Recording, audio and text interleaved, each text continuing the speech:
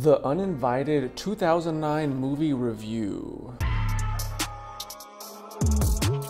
Hey, what's up guys, it's Josh here. Today I want to do a little movie review on a movie called The Uninvited from 2009. Now, between 2000 and 2010, at least for me and a lot for a lot of other people, horror movies were just a little bit generic. I mean, yeah, you had Saw, but we didn't really break out into better movies like we did in 2011, 12, 13. I was actually blown away by how good this movie was, and it was definitely the best movie that I've seen recently. So basically the story is a family by a lake and the mom is kind of like dying of cancer. Um, there's like one last scene where the daughter goes and sees her, and some big thing happens. The daughter ends up getting sent to like a mental asylum.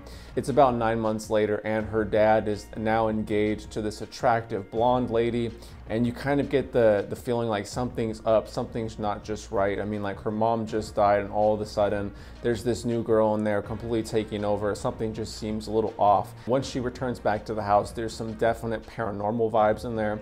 So that's kind of like the basic synopsis. This movie is very, very, very interesting. And although it had a very interesting premise, I was thinking, you know, there's not that many ways it could play out. You know, you're thinking, okay, the mom just died, you know, something paranormal's in the house. Okay, the mom's there. And you think of, you know, maybe the new mom is like a killer or she's, she has a secret past or all this stuff. And it really does not play out at all like you think. And it actually has a, a twist near the end that really shakes things up and thankfully, I can kind of describe this movie fully without really getting into the twist because it happens at the very end and just completely switches things up. As far as what I liked about this movie, to be honest, it was like a breath of fresh air. It was very unique. I haven't seen a story like this at all personally. And on top of that, it has a pretty good and unique scenery. Their little house that they have, it feels better than something like a cheap horror movie where it's just a quick little um, shot or two or if the scenery feels cheap. I actually really enjoyed the whole city that they live in, this whole little lake area. I also liked that it was very, very short. I think that if you, you told your story and it's not the right length, don't put a bunch of filler in there to make it like a certain length that you want. If the movie comes up a little bit short, but it's much better short, then keep it that way. And I 100% like that. And uh, to be honest, if they had done anything else, it would have been a little bit fat and bloated and it was not here. I think it's like,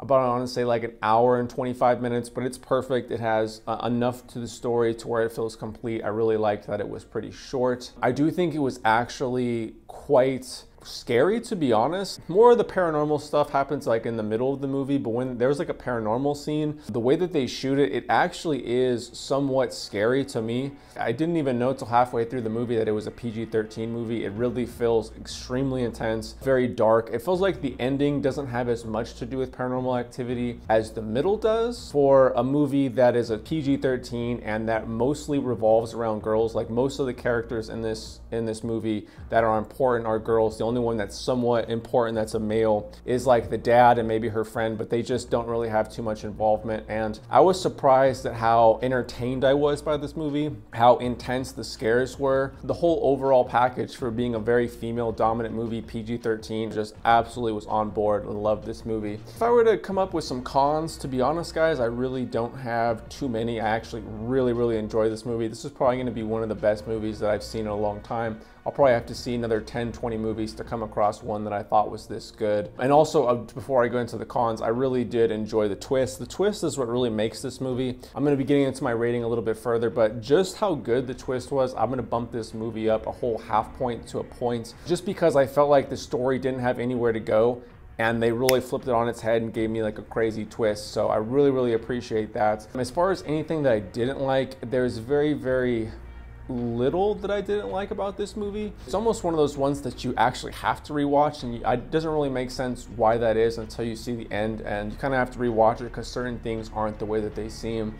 Um, but it did seem like the twist kind of happened a little fast and it explained everything really, really quickly and um, I don't know, it just felt like it was a little bit fast. Like I wish it was a little bit more rushed or it was a little bit more explained. And again, maybe if I rewatch it, it will be a little bit more explained, but it just seemed kind of like the twist really shook things up, but I don't know how it how well it connects with the beginning of the movie because it almost seems like, you know, oh, I'm building up all this stuff and then the twist happens and it's like, oh yeah, none of that was real. Pa pa pa, I got you, you know, and it's like I don't know. I wish there was like a better connection between the first story and the twist, although I mean, this is kind of like picking at, at straws here. I really, really, really enjoyed this movie. It was very entertaining, especially for a PG-13 movie.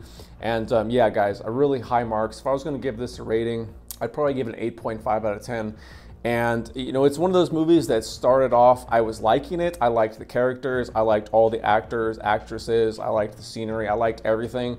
But then once that twist happened, I, I, really do like it another half point to a point higher than it was before. So I'd probably give this an 8.5. I really enjoyed it. I, I highly recommend that almost everybody check it out because um, it's not that vulgar or aggressive. It's R-rated, but at the same time, it's very, very serious. If you're somebody who doesn't like um, a lot of cheese or a lot of things held back, this movie does not hold a lot back in my opinion. So I highly recommend check it out. If I was gonna say buy, rent, or pass, I'd almost say buy on this one because I really, really enjoyed it for what what it is. It's a completely unique story.